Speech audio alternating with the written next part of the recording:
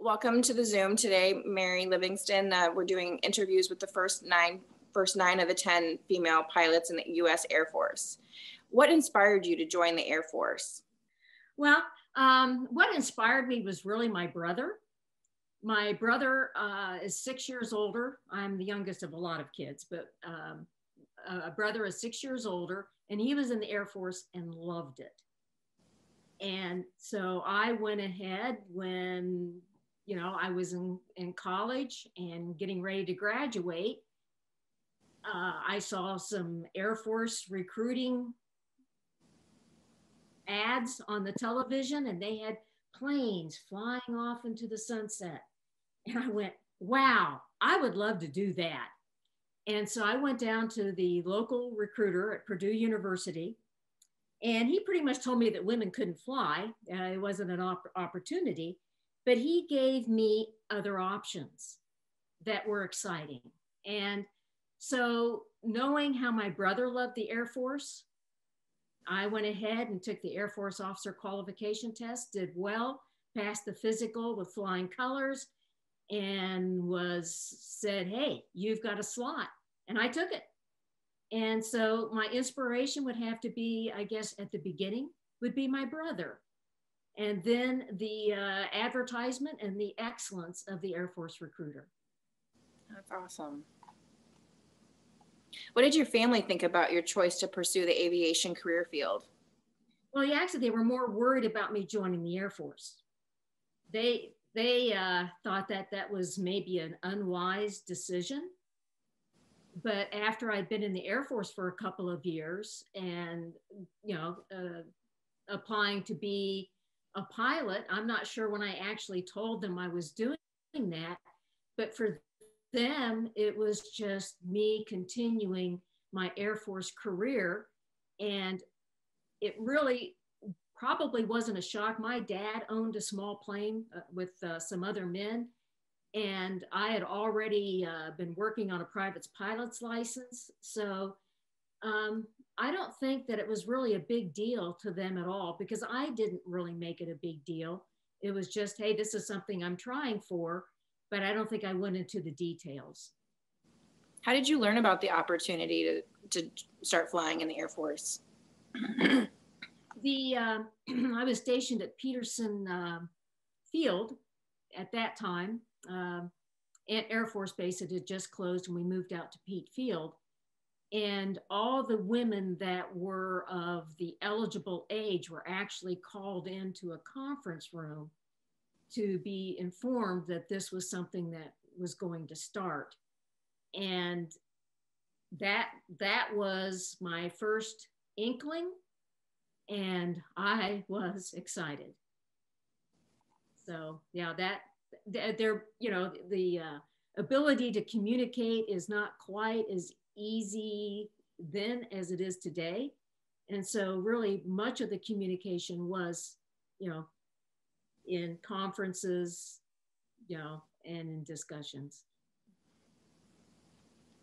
What did it mean to you to be part of the first undergraduate pilot training class to include women? Well, uh, for me, you know, I already told you that my goal was to fly. I, you know, and so to me, it was just an opportunity to fly. I, I loved flying. I thoroughly enjoyed my career in the Air Force uh, before flying. But later, I would say that having that opportunity to be in that first class, um, it was a chance to inspire other women. For example, there was a woman who wanted to be a pilot in the Air Force, and this is when I was stationed at Randolph Force, Air Force Base. And so she found me. I'm not quite sure how. And so she wanted to know how she could better enhance her chances to become a pilot. And so we met a few times. And uh, that was just exciting meeting with her and being able to encourage her. And she actually uh, did become a pilot. Her name is Andrea Kowalski. Andrea, if you're out there, hello. I thoroughly enjoyed meeting you. And uh, then later, I would say that when I was, um, you know, at my first duty assignment, other duty assignments, I tended to avoid all publicity and we'll get into that later. But I would always go to, you know, Girl Scouts, um, other youth um, presentations. Um, I taught, you know, Sunday school. I, I taught um, um, Bible studies, and you know, it's one of those things. And it's always been I've been working with youth, and so it was an, a way to let youth know, which included women and young girls, that they're that you know, hopefully I could be an inspiration. So that really, it for me, it was selfish. I just wanted to fly, but later on, I was thankful for the opportunity to maybe encourage and inspire others. That's great. How do you feel about having your story featured in the National Museum of the U.S. Air Force? I'm honored. you know, I, I don't deserve it. I am honored. You definitely deserve it. Jennifer, you could have done it here just as well. I just happened to be at the right place at the right time and had the opportunity. Right, but you took that opportunity, and that's important. Yes. Well, when museum when museum visitors see your exhibit, what do you hope they will learn from your experience? Uh, I would hope that they would learn that the Air Force has opportunities for everyone in many different fields. Uh, granted, the focus is on, you know, us being trailblazers, but each person is a trailblazer in their own way because each person is a unique individual. And so I want them to see that they, as a unique individual, they have opportunities as well. And just as you said, to take advantage of them. Take advantage of what the Air Force can offer.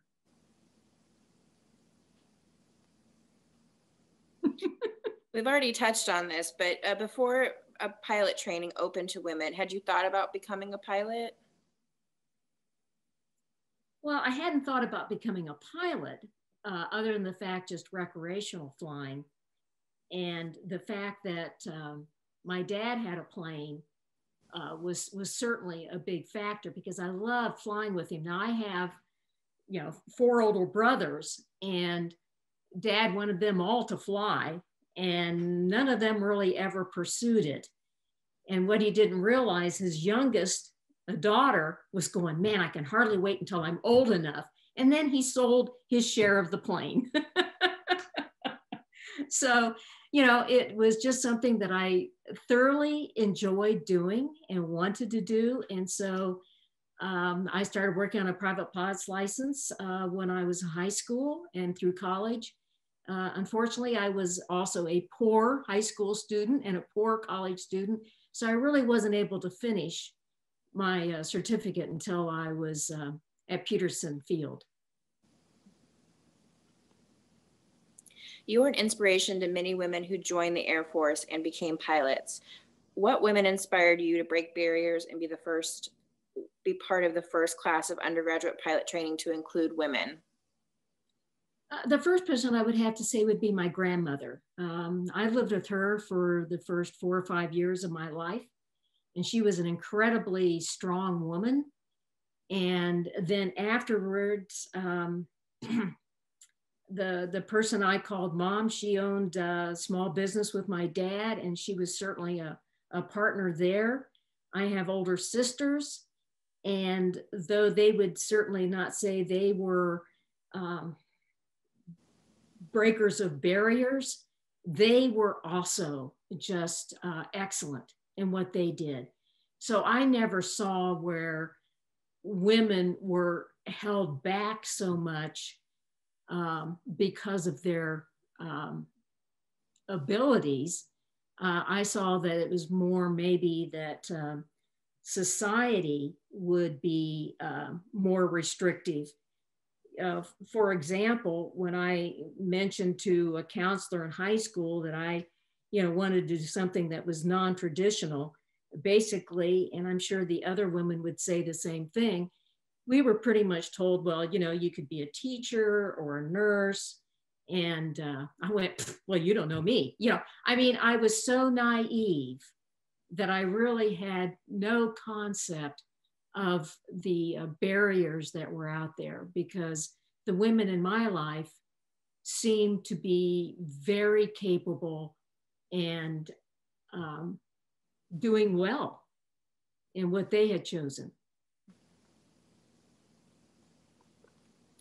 Sadly, Susan Rogers passed away in 1992. How would you describe her?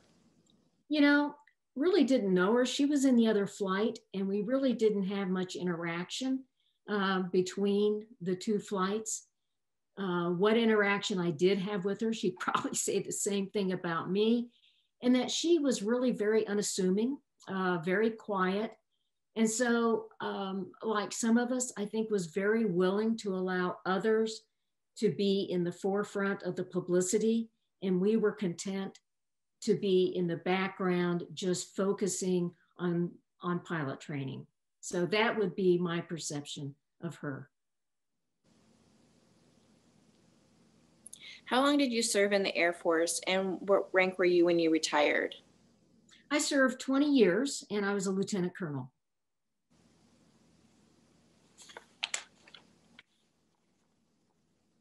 What were some of your most memorable assignments or missions? Are there any significant events from your career you would like to share?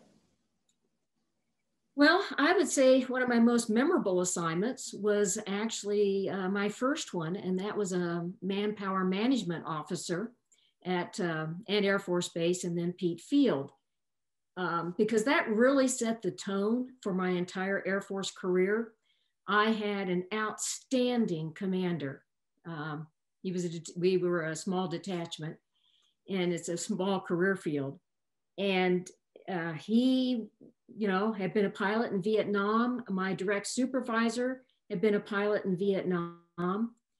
And, you know, when I was looking at being, you know, uh, applying for being uh, in the in pilot training, they were both incredibly supportive and encouraging and, you know, following up to make sure that, you know, I had everything done that needed to be done to ensure success. So I would say that would be a memorable assignment right there because without your commander and supervisor's encouragement, um, the, the process would have been much more difficult. Um, after that, I, you know, um, what would be uh, a memorable uh, assignments? Uh, I would have to say probably at the Air Force Academy, flying the TG-7A because that was a very unique aircraft. I think there were only five to seven of them in the Air Force. It was a uh, aircraft designed to uh, uh, train uh, cadets on how to fly sailplanes. So um, that was a unique role, and I thoroughly enjoyed that. And uh, as far as a memorable mission, you know, if you're ever an instructor pilot, um, I could bore you for hours with memorable missions with students. I bet. Why do you think it took so long for the Air Force to start training female pilots since the WASP had proven women's ability during World War II?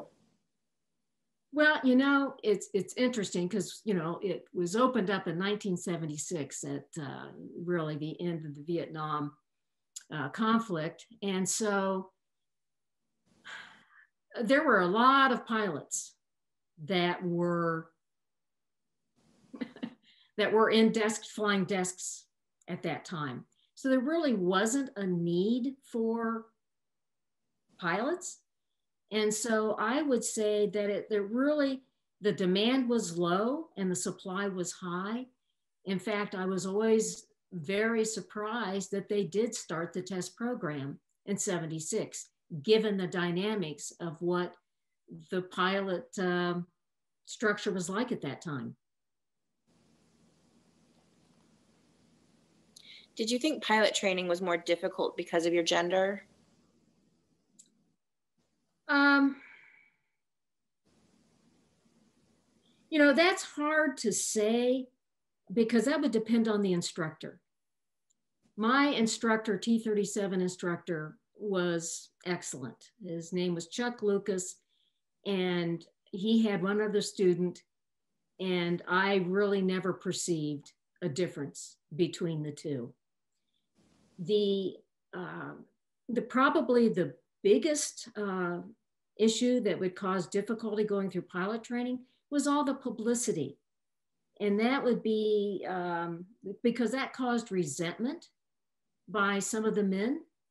It certainly caused resentment among some of the other students, you know, male students that we were in a flight with, uh, because they were um, doing the same thing we were, yet they weren't getting recognition for the effort they were putting into it. And so trying to overcome um, that resentment, and rightfully so, made it a little bit more difficult to have that sense of teamwork and working together to be a success. I think that in our flight um, of five women, we were able to um, develop a sense of teamwork with the other men, but it did require work. And so, yes, that that part was more difficult. But again, I would go back to, um, particularly since I was an instructor, a lot would just depend on your instructor.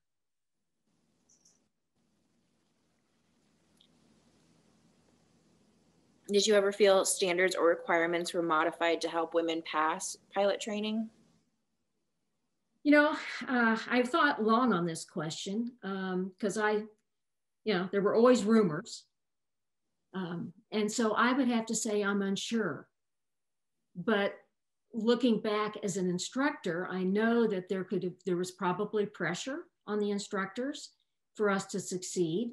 But I also know as an instructor, you um, feel very much a sense of responsibility for your, students to do well, because if not, you could be putting them into um, a hazardous situation that they cannot handle and they can injure themselves, kill themselves, and hurt other people.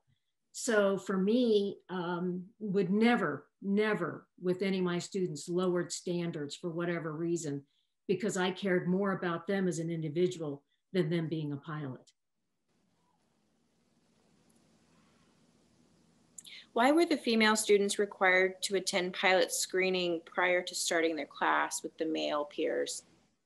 I know that some women were a little resentful of that. I was thrilled. That was free. You know, I don't know, about 40, 50 hours of free flying time. I was used to having to pay about $50 an hour for flying. And all of a sudden the Air Force is going, whoa, hey, I'm going to let you go to this T 41 and you're going to get more small plane experience. So I was thrilled. Um, and I understood it was a test program. And I understood that even though I had a private pilot's license, um, they needed to get probably physiological, psychological data on us. I had no problem with that. There were other men who were part of the flight screening process. You know, uh, virtually everybody that goes into pilot training at that time had to go through flight screening. You know, the Air Force Academy cadets went through, you know, the T 41s at the Academy. Uh, people that joined in through other commissioning sources, if they didn't have a product license, they had to go to Hondo. So I really didn't see that as being um, an issue. I thought it was a benefit. I got to see how the Air Force, you know, how their approach to flying differed from what I had been taught as a civilian. And I was very thankful that in getting my private's license at Peterson uh, Air Force Base, that I had a military pilot that was my instructor because he followed the same, what you might call stringent standards that the Air Force did. And that actually helped prepare me for flight screening. Awesome. Do you think the acceptance of female aviators during the 1970s was symbolic of changes in America? Um, you know, even though I mentioned earlier there was a surplus of um, pilots at that time, uh, society was changing. and it got to be, and you have to understand, I have an economics background and I taught economics at the Air Force Academy, that, you know, uh, when you're looking at a pool of applicants, the larger your pool of applicants, um, the better quality you have in selection. And so I saw that as just a natural outgrowth of just society realizing that they were restricting half of their pool of qualified people to fill positions. And so to me, it was just a natural outgrowth of that. And that is true whether you look at genders, whether you look at uh, race, you know, uh, what other of stereotypes there are. You know, if you start restricting your pool, then you start restricting your, your qualified applicants. What aircraft did you fly during your career? Well, um, T 37, well, T 41, T 37, T 38, uh, TG 7A, and the SG 233, which was a sailplane at the Academy. If women had not been limited to flight instructors and transport and tanker pilots, which aircraft would you have chosen? Well, you know, hindsight's always 2020. I actually, when I was graduate, you know, when I put in my dream sheet for what aircraft I wanted to fly, I put down tanker. And the reason is that many of the women really had specific desires of what type of aircraft they wanted to fly. And I knew that some women really wanted to be instructors. And I was like, hey, I'm happy. I'm going to fly whatever. And I know that there's not going to be a line out the door for people that want to fly a tanker. And uh, being from the north, I thought, wow. So I asked for a tanker to Loring, Maine, uh, K.I. Sawyer, Michigan, you know, all those northern tier bases. And I figured there's no line for there either. So I thought, hey, you know, I'll be able to be back where there's snow and all sorts of fun things. And, um, but I got an inkling about two weeks before graduation. The uh, uh, DO came and said, Mary, would you be upset if you were an instructor? And I went, no. But I asked for a tanker. He goes, well, I know that. And so, and then he walked off. I went, uh oh, I think I'm going to be an instructor. and, you know, I uh, loved being an instructor, absolutely loved it. So, looking in hindsight, I would have asked to be an instructor. But at the time, given the dynamics of uh, of what you're thinking as you go through pilot training, everybody is striving for that fighter. Everybody is striving for excellence. And so I probably would have asked for a fighter, like probably many of the other women, and certainly like many of the men. But I am thrilled that the Air Force placed me in the instructor role. Did you ever regret not being able to fly a combat aircraft? No, because I love so much being um, being an instructor. I, I, never saw that as being a restriction because uh, at that time they had made being actually in it was air training command at that time um, being an instructor was a career path now if it hadn't been so that it could be a career path for me I may have been um, more concerned about not being able to be in a fighter aircraft. I, I, really don't know because I never had to make that decision. How long were you at the academy? I was actually stationed there a couple of times, one as an economics instructor, and then um, you were always uh, also assigned, if you were a pilot, down to the airfield. And that was when I flew the TG 7A. Uh, I was also back there again as um, the chief of standards and evaluation, and that's when I flew a T 41. My husband has his PhD in electrical engineering, and so he had uh, a couple of assignments there. And so that's the reason that I was assigned to the Air Force Academy.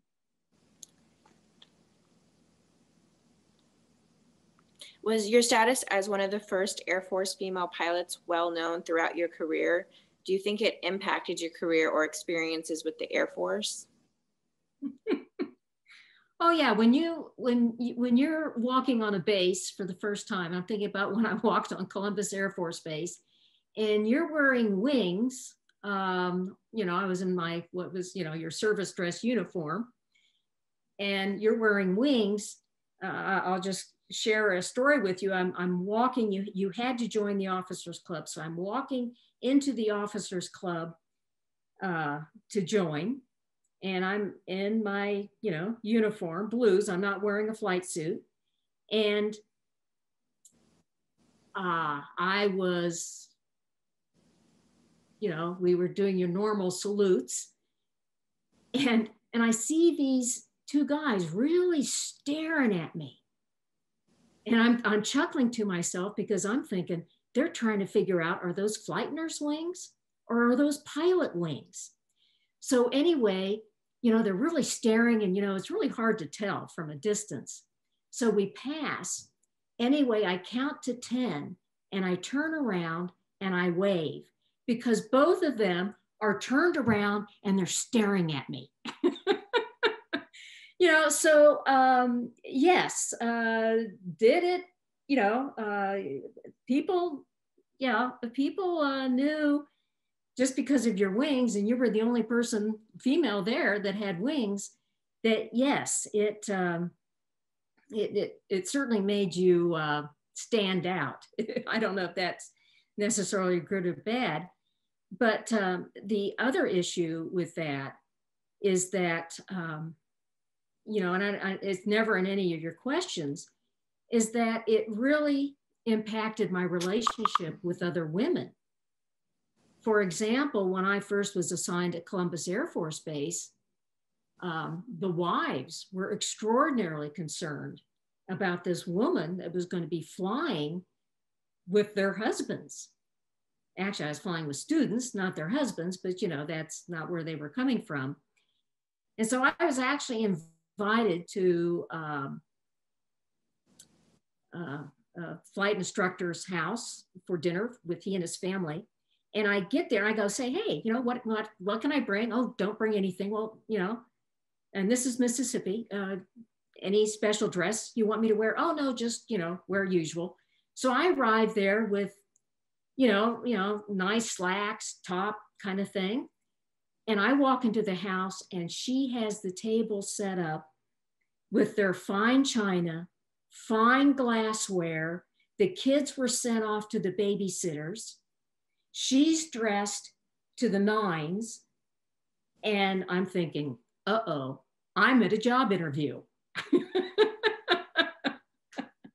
and anyway, and after dinner and discussions and that kind of thing, she confessed her worry about me.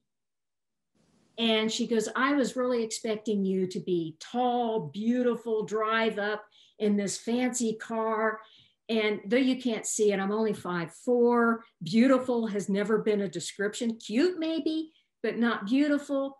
And so it working with women to ensure that they knew that we were not um, trying to compete with them. That that was um, that that was probably a valuable experience. And the other thing goes with the men. You know, you know you're accepted when you're part of a gripe session with men, and the men say, "Hey, I heard that all you women got the assignments that you wanted." And I actually looked at these men and I said, Yeah, I asked for a T 37 to Columbus Air Force Base, Mississippi. And they all looked and they went, Oh, yeah. you know? so, yes, it certainly impacted my experience, but, you know, uh, approaching it with you know, it wasn't about me. It's also about them. We're all a team working together for the success of the mission. You know, that went a long way. I uh, purposely earlier mentioned I avoided publicity because I was doing the same thing the other men were doing.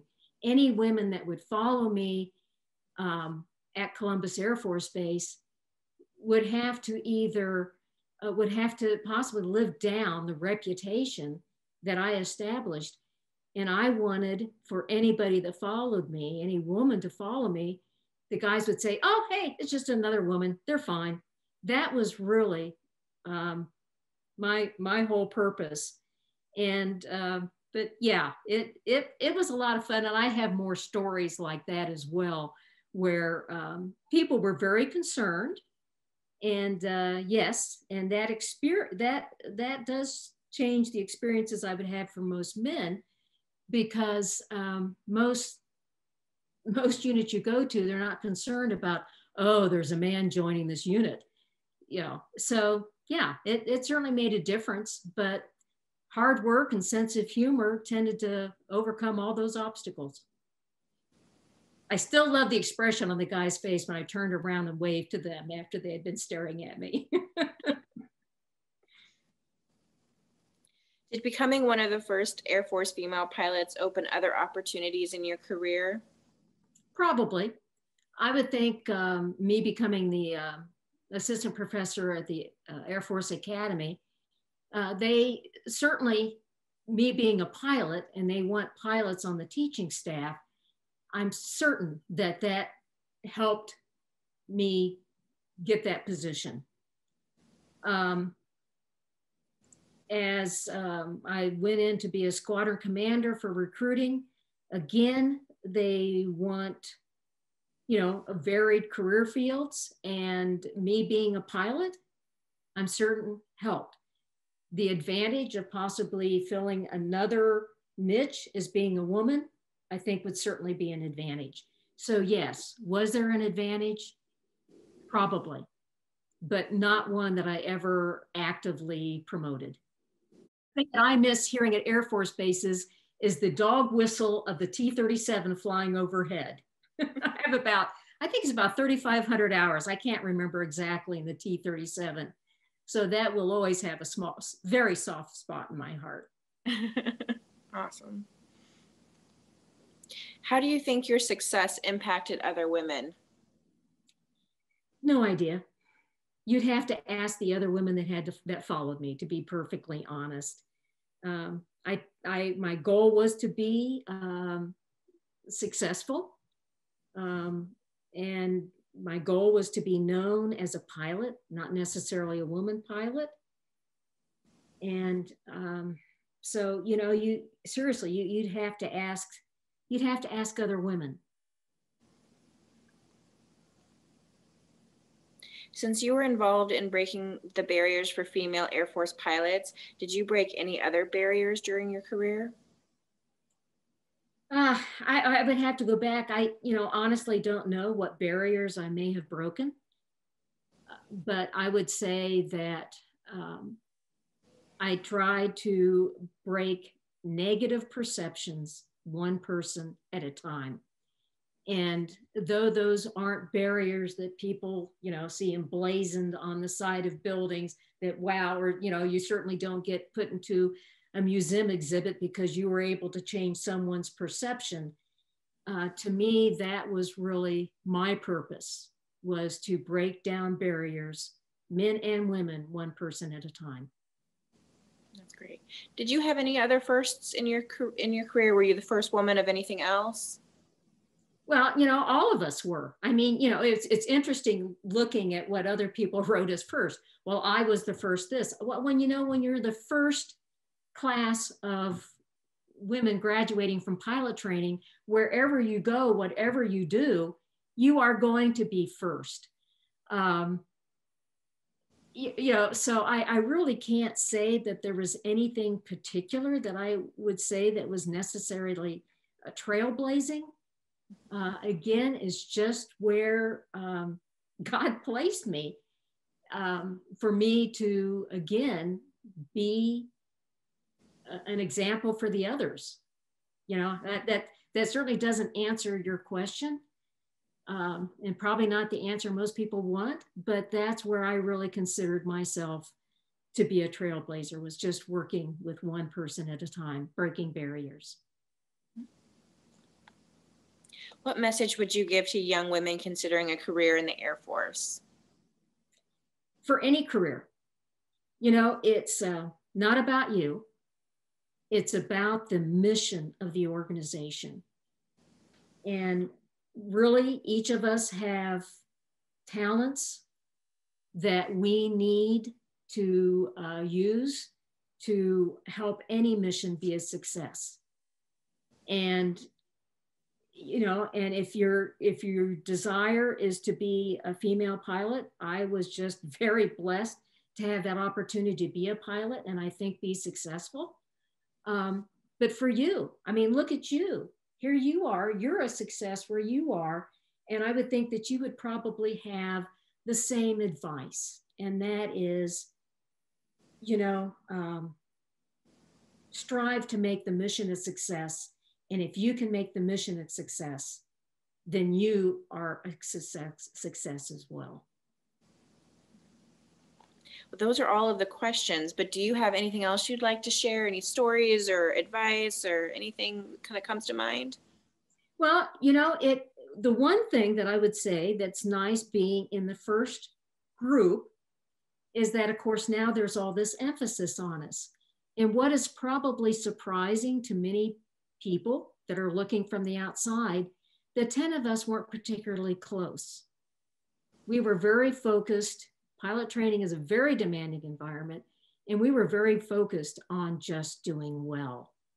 So you could ask me, you know, not only about Susan Rogers, but Kathy LaSauce, Vicki Crawford, um, you know, really any of the other women, and except for my roommate, Carol Scherer, whom you're going to interview next, I really didn't know them very well. And we are actually to know each other better now than what we did back then. And so I thank the Air Force for giving us that opportunity to reconnect. And thank you, Jennifer, for giving us an opportunity to reconnect. And, and hopefully, in what you are doing and what the Air Force Museum is doing, we'll hopefully encourage anyone to look at the Air Force as an opportunity where they can succeed.